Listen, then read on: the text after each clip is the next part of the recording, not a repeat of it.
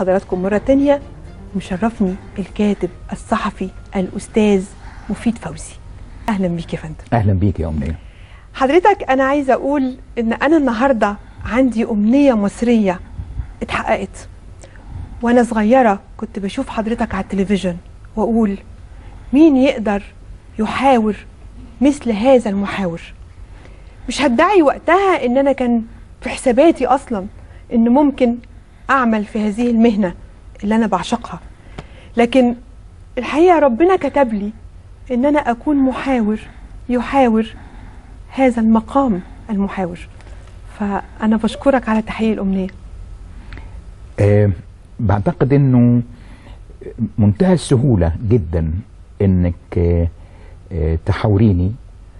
طالما إنك مدركة أدواتك وطالما إن عندك معلومات لأنه لا أحد يحاور أحد بلا معلومات. تمام. يعني دي وهي دي كانت مدرستك. يا فندم. نعم و... ولما جيت بحثت آه، بعد إذنك في تاريخ حضرتك نعم. لقيت إن حضرتك لم تنشر في يوم من الأيام معلومة غير سليمة أو جانبها الصواب نعم. فهل ده معناه إن كنت كتير قوي آه، ترفض الشهرة أو ال- آه، الفرقعة الصحفية. نعم. قصاد الأمانة؟ لأنه يا أمنية أنا اتعلمت ال- الصحافة على إيد اتنين عظام. هما محمد حسنين هيكل وأحمد بهاء الدين. الأول اللي هو هيكل اتعلمت منه الصياغة والأسلوب ودقة المعلومة. أيوه. أما أحمد بهاء الدين فعلمني كيف أفكر.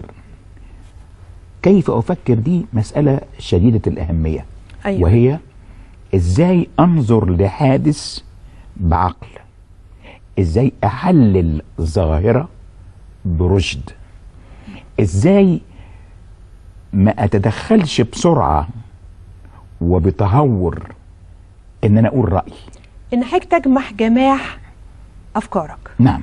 وإلى حد كبير زي ما انت تفضلتي ما عنديش نزق للشهرة بمعنى الشهرة. يعني أنا أفضل إنه أنا مثلا في الوجدان المصري الناس في الشارع لا زالوا حتى البسطاء يقول لي اسمح لي أسألك. أيوه. ليه؟ لأنه أنا في فجر العمر كنت بخبط على الناس بأدب. تخيلي السؤال يبدأ باسمح لي أسألك. اسمح لي أحرجك. آه واسمح لا هي اسمح لي أحرجك عمري ما قلتها. آه. إنما هي أصبحت في فم ال- الكوميدينات يعني من أفضل الناس اللي قلدوني مثلا أحمد آدم. خفة دم لا مثيل لها. فطبعا يقول اسمح لي أحرجك واسمح لي كلام كتير آه يعني من هذا القبيل يبقى آه. البراند بتاع حضرتك آه. أقوى. إنما أساسا هي اسمح لي أسألك. طب اسمح لي أسألك. اتفضلي. حضرتك أشرت دلوقتي لاتنين من العظماء نعم. اللي هم